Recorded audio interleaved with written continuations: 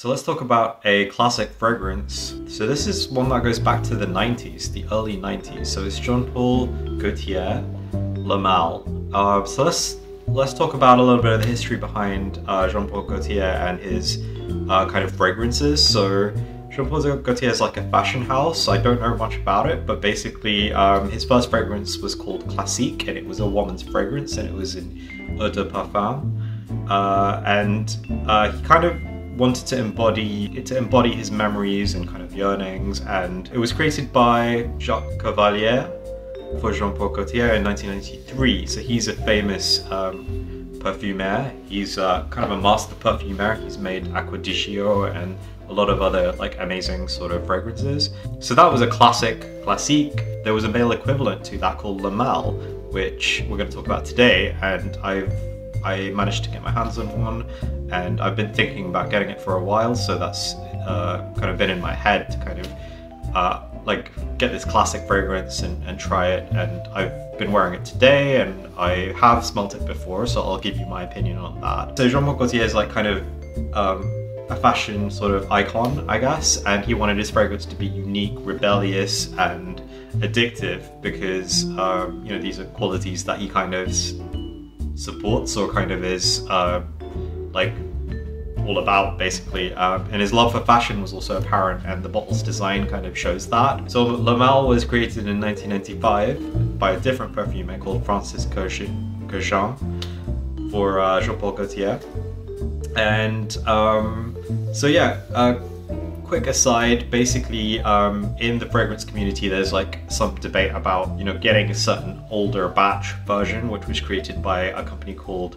BPI, and that was created since like 1995 to 2015. So that was like kind of the original company that kind of distributed and made the actual and manufactured the perfume.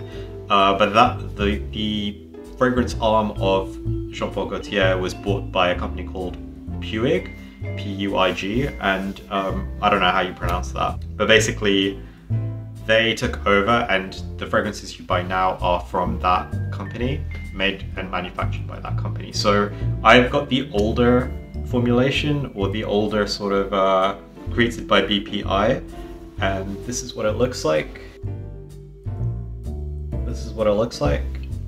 So yeah, this is um, one of the older bottles I managed to find on eBay and um, it was a decent price and it's 125 milliliters.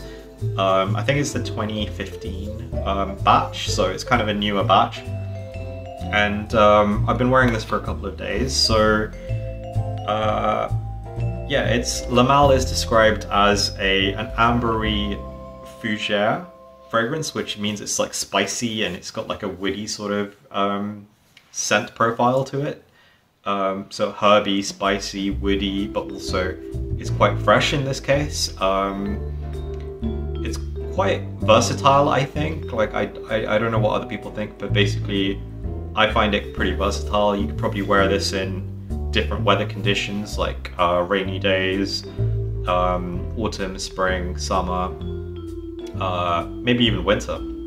Yeah, I don't see why I can't think of an occasion where this would be a bad one to pick out of my collection, so it's really good. And as you can see, the bottle design is pretty unique. And back in the 90s when this was released um, as a bottle design, it was considered like super different from other bottles. Like imagine like, I don't know, Chanel number five or something, just like a basic bottle with the sticker and with Chanel or whatever, like, you know, fragrances were like that in the past historically and um, when this was released I think it was like one of the first crazy bottle ideas that came out. Um, and this is meant to be a sailor's kind of outfit because the well the uh, perfumer kind of said when the bottle design was considered it was um, you know this represents Jean-Paul Gaultier's kind of taste of like fashion and idea of a sexy, kind of elegant, um, dashing sort of man, male kind of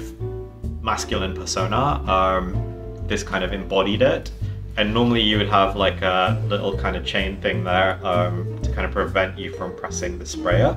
But on my bottle, uh, I kind of I got a tester. I think this is a tester. It didn't come in the can, so normally it comes in like a can and this one came in just a, a, a brand kind of box because it's a tester basically. Um, and it even says tester at the bottom. I mean, it's pretty unique. It's pre even today, like you don't get bottles like super crazy like this. Like you get some crazy bottles, but they're still not really this kind of cool looking. So yeah, it's got a lot of woody, spicy notes and aromatic notes. So the top notes for this fragrance, you've got Artemisia, which I had to look up, but basically it's kind of a bittery sort of herbal, strong smelling plant note, which is kind of like from wormwood. So I do get some bitteriness, I think, on the top notes. I definitely get mint, uh, cardamom and bergamot. I get maybe a little bit of the cardamom, a little bit of the bergamot, um, which is a citrusy, bitter tart, kind of elegant, light note um,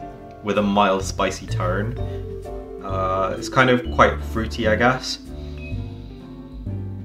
Uh, yeah, I don't know if I get all of those notes. I definitely get the mint. It's very mint heavy on the top notes. So let me go ahead and, and spray this now so I can kind of give you what I'm getting. It's a really good sprayer as well You get a lot that comes out. Oh yeah, okay. Mint. I think I get what is the Artemisia, um, because I get a lot of herbal, herbal kind of strong smelling, woody sort of smell as well. I'm not sure about the bergamot, and maybe a hint of cardamom, but it's not super obvious. But the main thing is I get a huge